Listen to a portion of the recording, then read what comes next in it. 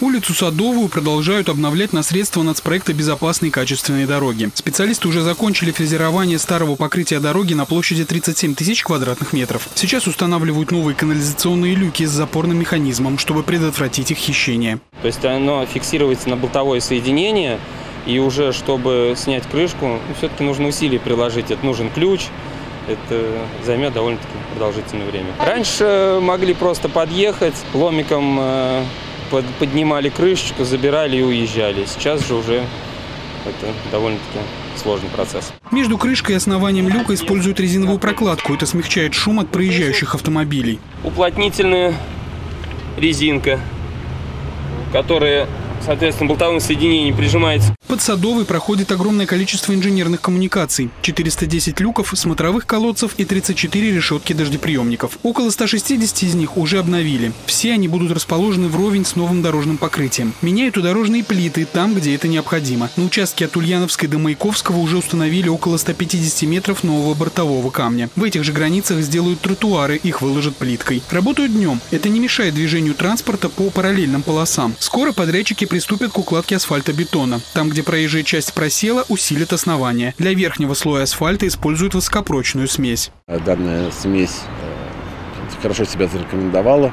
Это смеси по новым ГОСТам, которые вышли относительно недавно, то есть 2021 года данная смесь используется. Она имеет улучшенные качества, то есть она способна выдерживать те нагрузки, которые проходят на данной улице. Ремонтируют и примыкающие к улице дороги, въезды во дворы. Подрядная организация позаботится и об озеленении. Работы планируют закончить до конца мая. Андрей Горгуленко, Елизавета Прокопенкова, Николай Сидоров. События.